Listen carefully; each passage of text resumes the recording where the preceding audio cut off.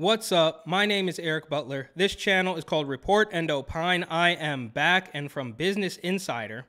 Making $100,000 in New York City feels like only $36,000 according to new study. Here are the top 10 cities where your money goes further. And I said this a long time ago.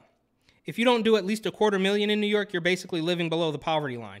And they want it that way. They've done it intentionally. They charge you 3.5% city tax on top of the state and the federal. They won't clean up the trash. The cops still don't come. It's obviously become a playground for the rich. And that, has been going on for decades. It's not new, but it just keeps getting worse and worse and worse. They want to intentionally gut the middle class. So anybody who lives there is going to be dependent on the government or they're going to live in a penthouse. There's going to be no in between. So you're going to have your junkies, you know, self-vaccinating under the Williamsburg Bridge with their fentanyl test strips, and then you're going to have the, you know, media and and political elite and, and you know high power people but there's going to be nothing in between so everybody is dependent there's going to be a bunch of people living in NYCHA houses with with no heat in the winter and rats all over the place and they're going to you know be asked to thank the government for a dilapidated building that they let them stay in so they say New York City ranked the lowest for cost of living on a six figure salary in a study of 76 cities. Memphis, Tennessee ranked highest, boasting a buying power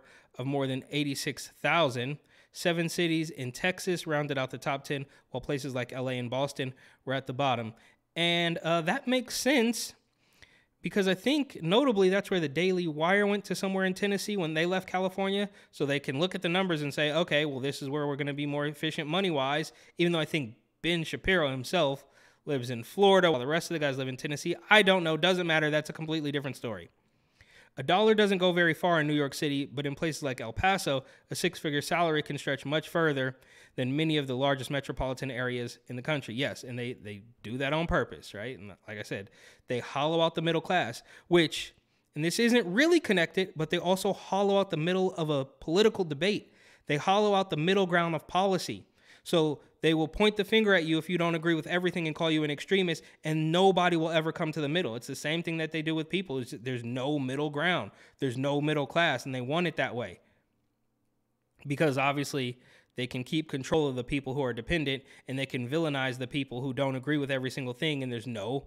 There's quite literally, I mean, you can I, I, bring this up all the time, but you can look at a guy like Don Lemon who's going to parrot 99 out of 100, you know, establishment talking points. But if he doesn't do all 100, then they're going to be mad at him. There is literally no room for the most minuscule amount of dissent, which I guess really has nothing to do with hollowing out the middle class. I'm just saying they get rid of the middle, right? That's their goal is to have everything in these extremes. And that's why New Yorkers are uh, that's why they're paying you know they're paying through the roof for every single little thing and they can get no help right? They you pay four or five thousand dollars to live in a shoebox. Like i said the cops don't show up. Garbage everywhere rats crime. But somehow they've tricked people that it's worth it. And i found out the hard way that it is not. According to a new cost of living study by financial technology company smart asset $100,000 uh, $100,000 salary in New York City leaves workers with what feels like just 36,000, the lowest of nearly 80 cities analyzed by the financial advisory company. The study looked at cities from Buffalo to Los Angeles to find where a dollar stretches the furthest using the Smart Asset Paycheck Calculator.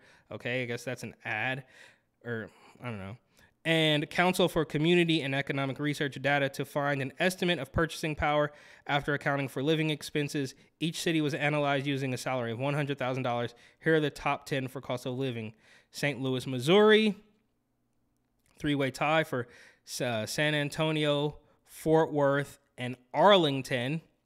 Then Houston, wow, a lot in Texas. Moore, Texas, Lubbock, Texas, Corpus Christi, Texas, Oklahoma City, Oklahoma, El Paso, Texas, and Memphis, Tennessee. So it's basically everything in Texas and then Tennessee.